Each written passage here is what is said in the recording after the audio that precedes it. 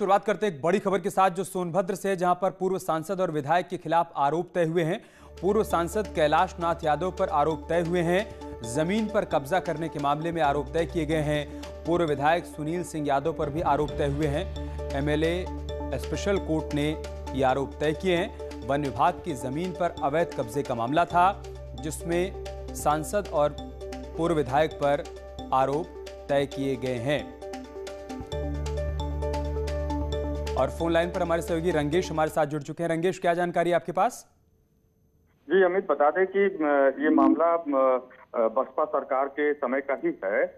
जब पूर्व विधायक सुनील सिंह यादव और पूर्व मंत्री और पूर्व सांसद कैलाश नाथ यादव जो दोनों रिश्ते में पिता पुत्र ही हैं और इन लोग के ऊपर एक मामला उस वक्त के तत्कालीन वन दरोगा रफीक अहमद ने लगाया था।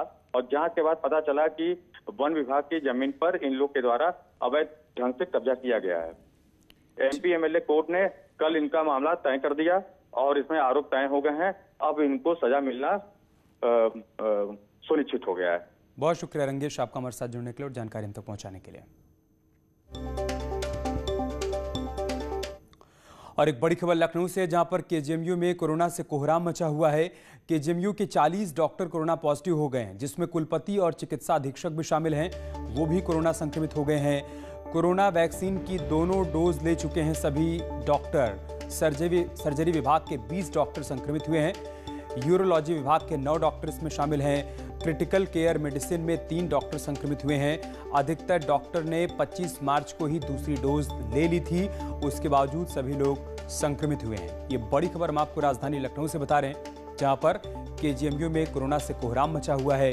कारण यह है कि यहाँ पर 40 डॉक्टर कोरोना पॉजिटिव पाए गए हैं, जिसमें कुलपति और चिकित्सा अधीक्षक भी शामिल हैं। कोरोना वैक्सीन की दोनों ही डोज ये सभी लोग ले चुके हैं। सर्जरी विभाग के 20 डॉक्टर संक्रमित हुए हैं। यूरोलॉजी विभाग के 9 डॉक्टर इसमें शामिल हैं। क्रिटिकल केयर मेडिसिन में तीन डॉक्टर भी संक्रमित पाए गए हैं। अधिकतर लोगों ने 25 मार्च को ही कोरोना की दूसरी डोज भी ले ली है। उसके बावजूद ये सभी लोग कोरोना संक्रमित हुए हैं। लखनऊ के केजीएमयू से बड़ी खबर हम आपको बता रहे हैं। 40 डॉक्टर यहाँ पर कोरोना पॉजिटिव पाए गए हैं। खास बात यह है कि सभी लोग कोरोना वैक्सीन की दोनों ही डोज ले चुके हैं।